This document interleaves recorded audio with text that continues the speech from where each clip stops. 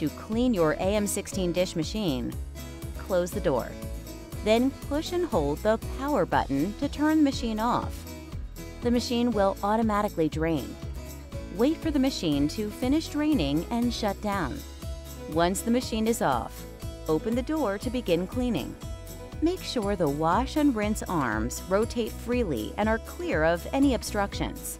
If needed, remove the arms and clean out obstructions.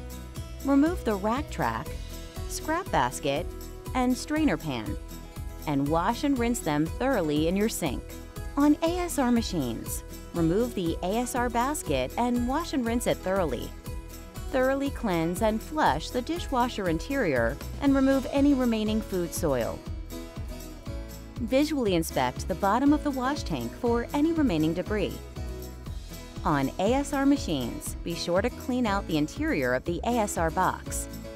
Inspect if there is any remaining standing water from cleaning, and if so, shut the door and use the manual drain button to fully drain the machine. To reassemble the machine after cleaning, replace the strainer pan and scrap basket, and if necessary, the ASR basket. Install the upper and lower wash and rinse arms if you remove them. Replace the rack track in the correct orientation with a high side parallel to the direction of outgoing racks. Wipe down the machine exterior with a clean, wet dishcloth. Do not use steel wool, a scouring pad, or abrasive material to clean the machine. Do not spray the exterior with a hose.